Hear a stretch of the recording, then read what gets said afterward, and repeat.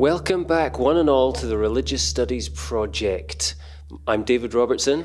And I'm Christopher Cotter. And this week we are brought to you from Wolverhampton University. Indeed, where we are here visiting the BASR, our good sponsors, along with the NAASR. This week's podcast, I'm pleased to bring you, is Aaron Hughes on the subject of religious studies as a discipline. And this is another interview by our good friend, Dave McConeghy. So take it away, Dave. My name is David McConeghy, and today I'm here at the 2015 American Academy of Religion meeting in Atlanta, Georgia.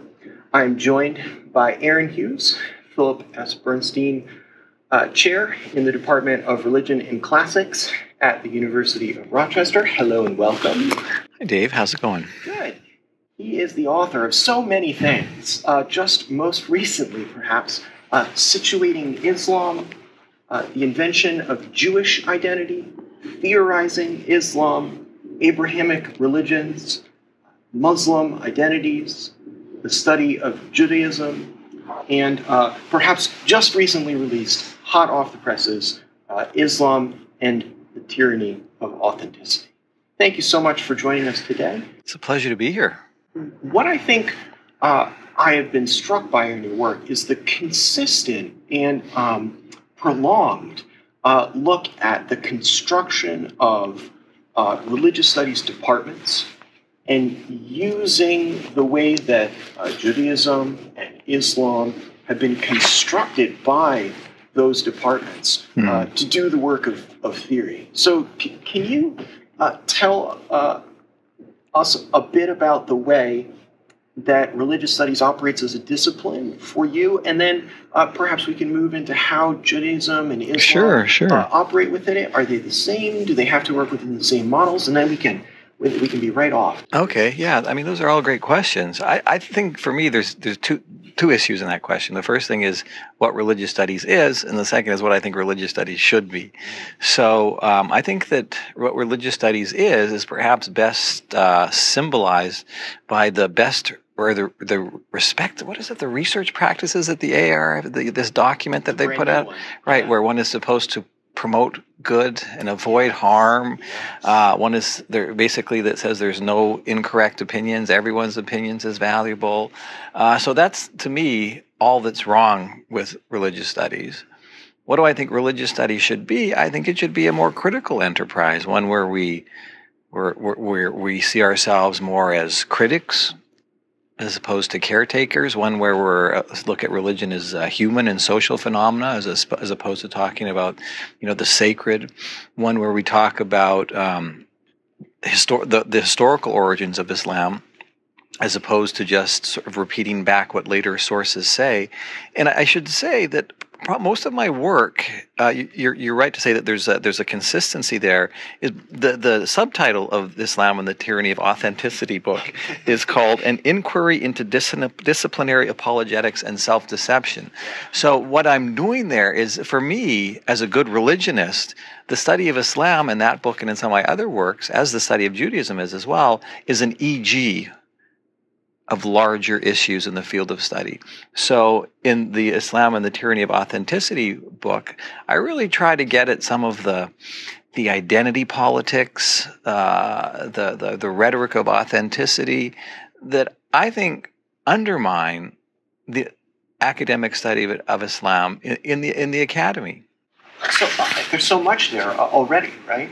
So, yeah. so the distinction between what the field is mm-hmm. right now and, and what it should or could be. So with that recent statement that the R came, it, it had a lot of pushback. As it should, yeah. Uh, as I, I think you're right that it should. If, perhaps though there's a difference between uh, what religious studies is, what the AAR a discipline in which uh, uh, an organization in which the discipline finds itself, yeah. and then what the field should do. Yeah. Right? And, and, perhaps in a statement like that, uh, the goal of the people that uh, do the work, mm-hmm. right, and the things that the work does somehow get elided. Yeah, right? yeah. And we cross that boundary between uh, what we are as a field, identity politics, right. uh, to being what we should be as a field, and then we turn that into identity politics. Too. Yeah, so, no, exactly. So we get this this um, uh, ambivalence, right? Yeah. That on the one hand we want to be critical, but on the other hand we want our field to to to do uh, things that are good with critic. Like you actually said, good religionists, right? Yeah. Not critical religionists. Yeah, right? exactly. Not theoretically sophisticated Exactly. religionists, right? And so in that sense, there's a good and a bad way to doing the work of religion. Yeah. In your opinion, right? I, I do, and I think that the, that AAR statement is a bad way to do it. And I think that um, they're all 25 cent words. And they don't even talk about critical research on religion, they talk about critical reflection on religion. And so, I mean, who gets to decide what's good scholarship? Who gets to decide what's what's avoiding harm? And there's such there. I, I did a. I'm actually writing a piece on it, and I looked at um, you know the the AAA, that's the American Anthropological Association. Right. They have these similar things too, but they at least they're equally uh, full of 25 cent words, but at least they elaborate them. The AAR just gives us these like bullet points and, and written by some of the quote unquote leading scholars in the field. And I mean, my fear with that, and I, I know you want to get to the Islamic study stuff, but you know, there's all these. Ins- Like the, the the granting institutions, like Middle States, I think they call them in in in, Yeah. in in New York State, that adjudicate programs. And how do they adjudicate programs? I'm sure one of the ways they adjudicate programs is by going to these major ACLS institutions like the AAR, and they have this definition of what the best research practices are. Right. And then so this these can come back to you know to bite us in the ass because they will they will come and uh, programs might very well be adjudicated on this tenure decisions Right. might very well be decided on, on these types of, of, of mealy mouth 25 cent words. So the, so the stakes are high because perhaps the politicking at the at the organization of the discipline level yeah, can creep downwards into the scholarship that is Exactly. In the classrooms and offices Yeah, of yeah. the departments. yeah, yeah, Yeah. So that there's real, I think there's, that's why I'm so concerned about it is because I think there are real practical consequences. Right. And I think that that's what a lot of my work has tried to do is show that we don't just operate in a vacuums as as as disembodied scholars, uh, you know, in, in the ivory tower, but that all our concepts and our genealogies come from places and they have real repercussions. So when we talk about when when we just repeat the, to, uh, use the example again, we just repeat back that Mohammed received the Quran from the archangel Gabriel without looking at the historical consequence of how a text comes to be. I mean, th- that, we're just kidding ourselves. So I, this dawned on me when I was teaching the the three Judaism, Christianity, Islam at my old university. And I would tell the, you know, we would look at the Hebrew Bible and we'd look at all the source criticism and rhetorical criticism, you know, J, E, P, and D. This is how the Right, this is how the Hebrew Bible came to be. Then you get to the New Testament, you look at Q scholarship, and you look at all the redactional criticism. And then you get to Islam, you say, oh yeah, and Muhammad went up to Mount Hira uh, around Mecca and received the Qur- the Quran from Gabriel. So why so why do you think that there is a difference bet- between those? Is there is there is there no tradition of that scholarship, or is that tradition of scholarship somehow too embedded within structures that are not accessible to the West? So Yeah, there's that's- a language problem. Why why is that? No, that's a great question. Um, I, I think that that's not a religious studies question. People do this. A lot of Europeanists. Where I was just at a, at a I just gave a lecture in Geneva, and uh, I met the Islamicist there who was trained in America, Canadian by birth like me, and uh, he says that most critical scholars of Islam just think the AAR is a joke. Like they, they, they don't they don't so there is that there is that history of critical scholarship, but in religious studies, Islamic religious studies, which I differentiate from Islamic studies, that's now written off as Orientalist or as, or, or even worse, uh, Islamophobic. So there is critical work done in that's what I, I in in the books I try to differentiate between Islamic studies, which I see as more critical, and Islamic religious studies, which is not critical at all. So it, it- strikes me that that it, if the difference between for you between Islamic studies and Islamic religious studies is that critical hinge, No. uh, is it the context of religious studies in the, the U.S.? Is it the training uh, theoretical? Is it the or is it the climate of uh, that we live in today? I think it's the- like what what Yeah. provokes Islamic studies to be able to do that criticism. Yeah. Suddenly, when you're in religious studies department, you can't you can't do it, or we're, we're not doing it. Perhaps both. We're not encouraged to do it. Yeah, you're right. And I think that it's a climate thing. It's the 9/11. Everything everything hinges on on 9/11, right? Because you have to. Um, the this, the scholar of Islam becomes uh, or the vernacular bothers me here because because I'm trying to so the scholar of Islamic religious studies maybe that's the term I want to use in the aftermath of 9/11 had to explain Muslims to to Americans. And of course the only way they wanted to do that was to you know use this rhetoric of this is good as this is what a real muslim believes. This is what a bad muslim believes. A good muslim is a democrat believes in liberal democratic justice. A bad muslim or, or not, uh, an inauthentic muslim a fake muslim is somebody who would fly a plane into a building. So there becomes this rhetoric. And i worry that this rhetoric has really just we've just ran with the, it. The religious studies departments. yeah i think it has. And so, i so it, it, if we think that that's true, I, and I'm suspicious fine yeah that's of the narrative. I'm suspicious of the narrative because I think, in part at least, that the diversity of the field might not be captured by such a statement. Which, Mhm. which is to say that that I'm not, uh, as a non-expert in Islamic religious studies, certainly, and certainly not in Islamic studies more generally. Um, it's, t- it's tough for me as an outsider. I think it's tough for a lot of outsiders Yeah. approaching uh, what is the range of issues. So my perspective when I come to it is, hey, here's a new book by Aaron Hughes about Muslim identities. It Mhm. seems um, uh, perfectly appropriate for an undergraduate class. It uh, frames uh, Muslims in certain ways. It talks about uh, the origins of some of the practices, and, and, and so it puts all these things together. It's it's not. Is it that kind of work that you're citing? Is it a different kind yeah beyond that? I'm proud of that book. Um, that book is uh, so the subtitle of Muslim Identities is an introduction to Islam, and that is written, as you say, as, a, as an introductory textbook. But it's written as an introductory textbook that tries to absorb or tries to bring in both sets of voices. So, for the example, the the chapter on the origins of Islam, I talk about some of the Orientalist theories about where the you know we can't believe that the Quran just fell from he- heaven. So, what are some of the what's some of the critical work being done to show the various sources? Where where did the text come from? In Islamic religious studies, that's a that that question is verboten. You don't talk about that.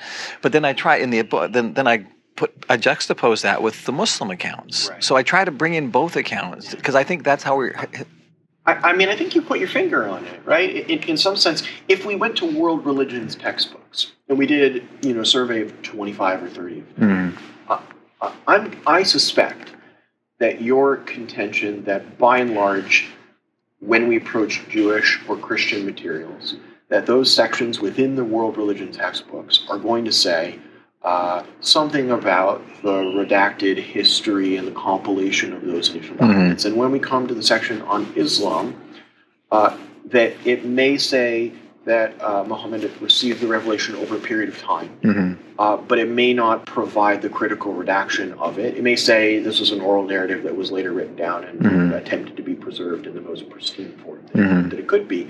But that that same parallel that we might look for uh, critically would be absent. yeah yeah So, so if your textbook remedies that uh, for at least that one, it tries to yeah that one bit, then uh, what other areas are we talking about within? Okay, good. So, what else I try to do in that book is in later chapters. Is that the way we're talking now? You, I, I mean, I'm not trying to say that all work on Islamic on Islam should be in the the early period, but what I also do in the textbook is in the later period where I try to look at the diversities of modern Islams.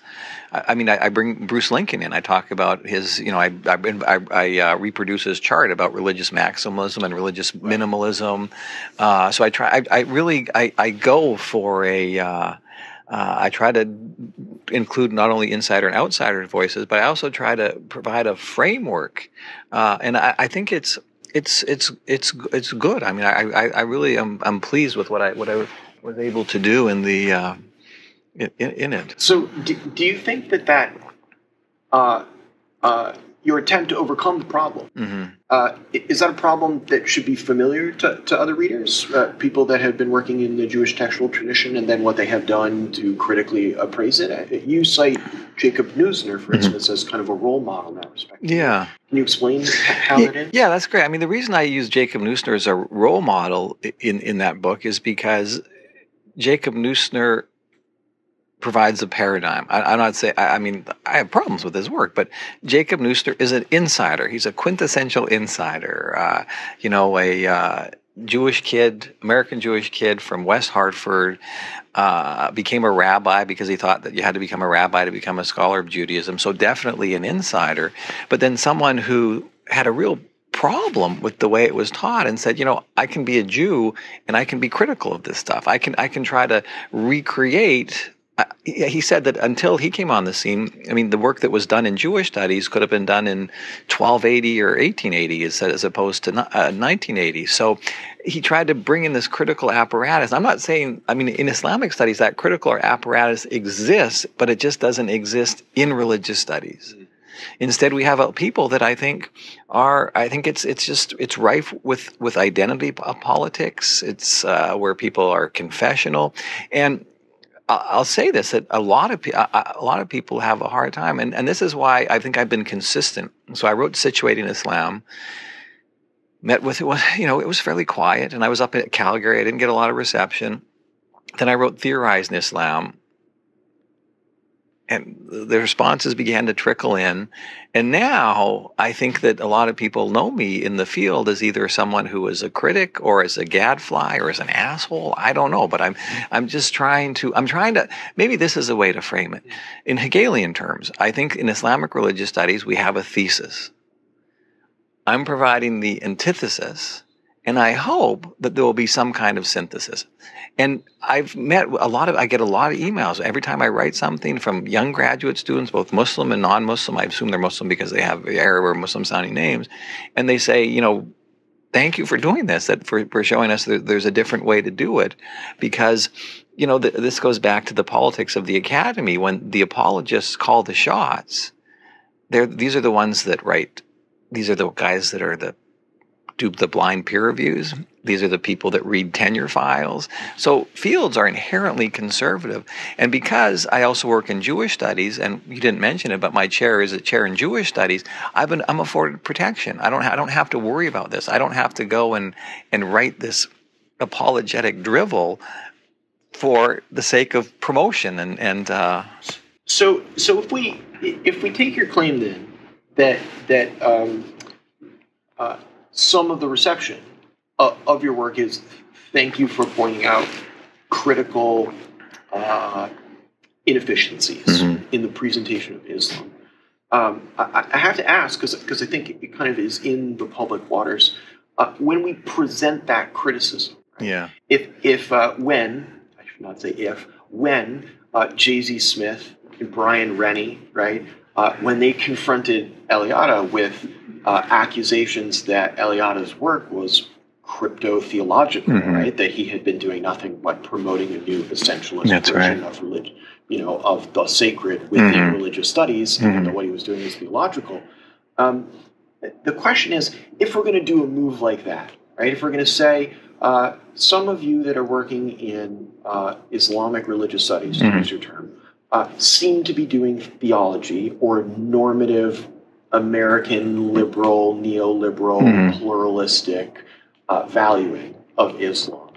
Um, how can we promote the dialogue with them? Because I've heard a couple of things so far. Um, uh, the AAR is not home to critical folks. Mhm. Uh, some of the people that have produced it have not produced work that is sophisticated. Mhm. And I fear, and, and, I, and I'm not sure whether it's an unfounded fear or not, I fear that if you were to approach those scholars with those concerns, um, that uh, the phrasing of the that dialogue is important, right? Because Yeah. because what I, I, I take you to be doing is inviting them uh, be as critical as you can be with the apparatus appropriate to religious studies you seem to have strayed from the good religionist to go back to your Mhm. initial term that path Mhm. Is is it a corrective in that sense I'd like to see it as a corrective. I'd also like to see them respond to it more. So, so, so, if the the AAR has not been hospitable for it, where should that response take place? Maybe NAASR, the North American Association for the Study of Religion. Um, maybe uh, in the pages of Method and Theory in the Study of Religion, the journal I, I edit. Um, so, so, the more explicitly critical, uh, theory-minded wings of of the discipline. I think so because because that's my home, and I mean maybe this is as good a place as any as to say that, you know, I'm. Who is my audience? My audience is in part the people I criticize, but I'm not going to convince them. So I would say my main audience is to go back to the point I made earlier that I see Islamic religious studies as an EG or as an example of this crypto theologizing that exists at the heart of the American Academy of Religion. And the, I've been on some high profile committees at the AAR, and I'm, I'm either happy or sad to report that the AAR is as not even crypto theological, but is as theological now as it was 20, 30, 40 years ago. A, recent controversy, maybe we'll, we'll uh, anonymize the names, but in the recent promotion of the AAR's new vice president, president, in nominee, yeah, yeah. there were uh, members of the community uh, that felt that the that the candidates that were selected did not reflect the appropriate critical apparatus yeah. of, of religious studies. So, so, so uh, I think at least you and and the folks that worried about those appointments, right? That the choices that were there did not reflect the critical apparatus yeah. that seemed appropriate to the, There does be, seem to be kind of um, some brackets, right? Yeah, being put around the field in some pretty. It's crazy. But these are not new. These are not no. new arguments, right? No, no. I mean, what bothers me, I guess, is the. Um, uh, I edited a book series for the American Academy of Religion called the Academy Series, which is a first book series, and it's supposed to publish the best scholarship amongst people that are recently graduated of the maybe 10 books I published, I'm proud of one.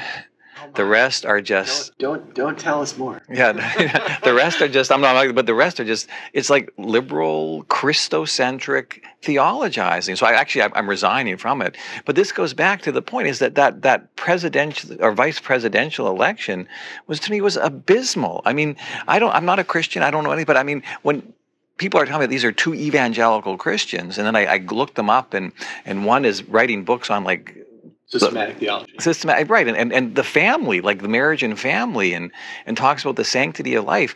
These are buzzwords. Right. I mean, in one, I, I think the person that actually, I mean, I mean, I'm not allowed to name it, but I mean, he was originally opposed to same-sex marriage, but then he had a turn in Heideggerian terms, and now is fourth. But I'm like, gives a damn? This is this is this has nothing to do with the academic study of religion. And then to top it all off, which I didn't really talk about this, the two how's this for bad stereotypes? The two choices for treasurer were two Jews.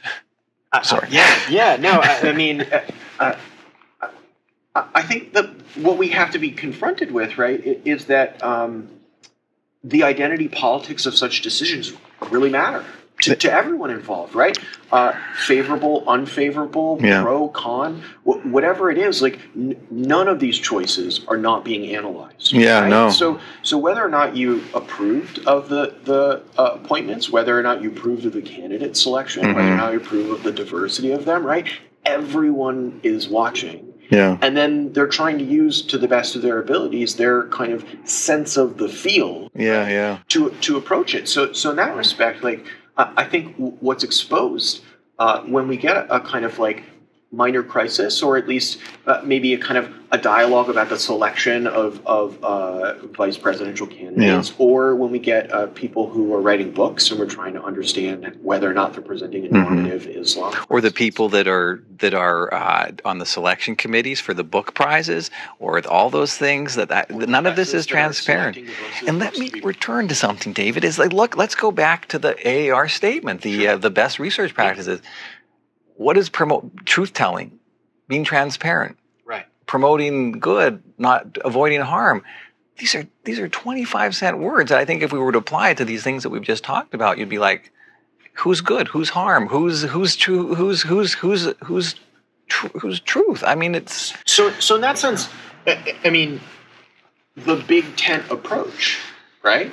Uh, Yeah. sustainable or unsustainable? Unsustainable. It seems like Well- you're you're you're wanting to close the doors Yeah. uh, in really clear places. Well, that's what we do in NAASR, and I think that the uh, uh, the great paradox is the only people that aren't welcome in the Big Tent approach are people that do the critical study of religion.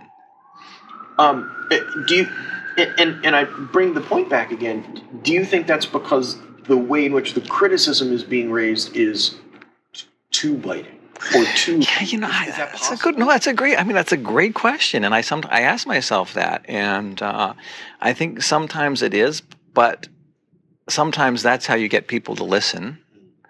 Because if not, they just don't pay attention. Um, and but it's it's uh, so according to the, the go back to that document that we've talked about time because I've been writing on it is that I guess according to the AAR best research practices or whatever that thing's called, I would not be qualified. I would not count as a good researcher because I look at me. I'm. you can see me. I'm. I mean, I'm. I'm. Perhaps I'm not promoting good. Perhaps I'm.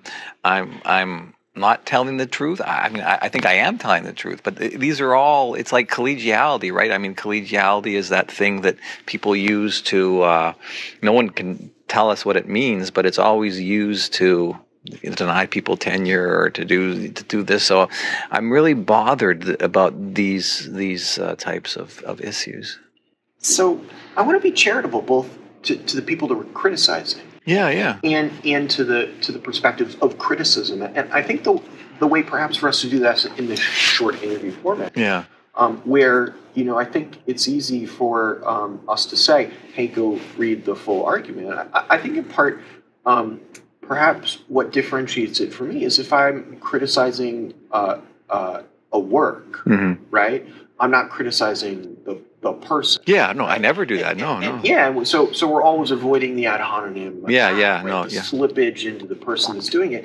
But but in that sense, if your claim Mhm. uh, is that these scholars are putting their identity into their work. Yeah, If that's your claim, then when you criticize their work, yeah. you're criticizing them, That's right? that, And- that's and- the academy. And that yeah. may be that may be an unavoidable. Yeah, yeah, you're absolutely right. I mean, when scholarship is only is skin deep, I mean, it's you're always going to draw a little bit of blood. So so not to put too fine a point on it, but but um, it's been asked, and I'm not sure that I agree with the, the question, but I want to raise it anyway. Sure. Is is that because there's something different about the study of Islam, not necessarily something different about Islam, but the Yeah. study of Islam and keeping it on a kind of disciplinary level Yeah. uh, in the academy? And you suggested earlier that perhaps it is the post 9/11 climate, but there are there other. I think there are. Yeah, I think there's the. the I, I wanted to respond to one thing you said before I get to that, and that was. Um,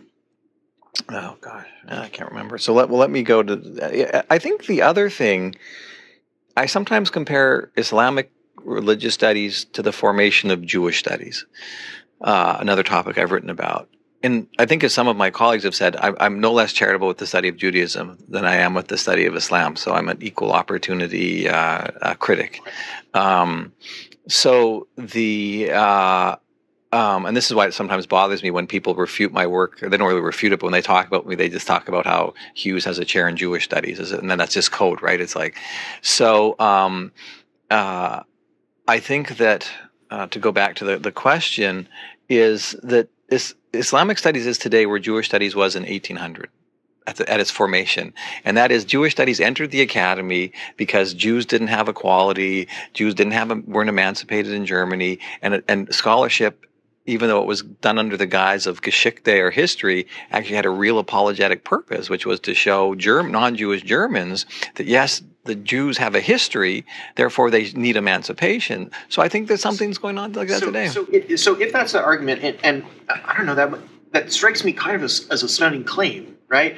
To imagine that uh, in the post 9/11 climate of what scholarship is, you know, 15 years after the Yeah. event, uh, that um, uh, we've been pushed back prior to all the work that was done in religious studies on Islam in the moments before 9/11. So, so i- i- if we were to study the works that had appeared in the 1990s, Mhm. would would we have seen the same normative stuff? I don't think you would have seen it as much. And I think that So here, a, so it's a growth of a phenomenon. I think it is. Culturally. Yeah, and in some of my books and articles, I've tried to show or document how, I mean, there were very few Islamicists in America before 9 11. Virtually overnight, I mean, there's this exponential rise in, in, in it. So, in Situated Islam, I try to tell the story of how Islamic religious studies came to be in the, the you know, 1960s, 1970s, and and so, yeah, I think that the Islamic studies, Islamic religious studies, is is perhaps it's just undergoing a hiccup in its growth. I mean, who who knows where it will be in ten years? But uh, that's why I think, though, that people like me and my colleagues, and I'm certainly not alone. I'm perhaps the most vociferous in, in, in my critique. I think that we need to, as I said earlier, to always offer an alternative and I mean, as Neusner would always say about his critics, if, if you don't agree with me, write a better book. And and I think um, due to time constraints, we're going to leave it there. No. I, I, am comfortable with that place though, because Yeah. at the end, I think it puts the focus where it deserves to be, right? Yeah, sure. On the scholarship that is produced Mhm. and trying to make sure that what that scholarship does uh, seems to be using the critical apparatus of the field as you see it. Is that is Yeah. that accurate? Yeah, I think it is. I think it is, Dave. It was wonderful to hear Dave there speaking with NAASR's vice president. So, once again, thanks to Nasser and to the BASR. Um, so, yeah, we've just been down here at Wolverhampton uh, in in our other capacity um, on on the committee for the British Association for the Study of Religion. Some interesting chat, nothing, of course, that we can talk about here. Um, but it's been quite nice to see the campus where we're going to be having the BSR conference from the 5th to the 7th of September this coming year. And the theme is uh, Religion Beyond the Textbook. Beyond the textbook, yes, and part of the Beyond the textbook will involve us uh, probably talking about our new book, After World Religions Reconstructing Religious Studies, which has just been published. Um, and, and a contributor who's not contributed to that book, but contributed to one of our podcasts um, a couple of years ago, Martin Stringer, has been confirmed as the keynote speaker for the conference as well. So That's all good news. Um, we didn't talk about what news we might Well, have. but I thought that don't know if that was a sort of good enough selection of news there, was if us talking about being in Wolverhampton and the BSR is a wonderful conference. Um, that might be news enough for our listeners. But um, our listeners should, of course, come back next week. We're going to be starting a new series um, of lect- uh, of podcasts. Sorry, from um, A. David Lewis, who's actually appeared on the podcast twice now as an interviewee. Um, these were interviews that um, he had recorded uh, a couple of years ago um, for for another project and didn't manage to to find a use for them. And he very kindly said, "Hey, these might fit quite well with the religious studies project." And indeed they do. Yeah, and the series is based on the idea of uh, religious studies and popular culture. Um, and the, the first one, um, bringing you next week, uh, was chosen because it kind of directly sets up the series. It's called uh, uh, Popular Culture Studies and Bruce Springsteen, Escaping and Embracing Religion. And it's with uh, Kate McCarthy. So uh, thanks for, to Dave for uh, giving us these, and there'll be a couple more of those coming up. Absolutely, I'm really looking forward to that. Um, we've got um, to get out into Wolverhampton now to sample the local hostelries because, of course, that is a very important aspect of any conference is the the socializing aspect of it. So um, we're probably going to sign off just now, but we'll remind you about our Facebook page, our Twitter, our Google Plus, our new YouTube channel, and of course, don't forget about our Amazon.com.co.uk and .ca links um, if you're making purchases of popular cultural items. Very good. They really are uh, an excellent way for you to support the project without spending any of your own money, just a little uh, redirected click, and it makes a big difference to us. Um, so, other than that, all I want Thanks to for say is. Chris, thanks for listening.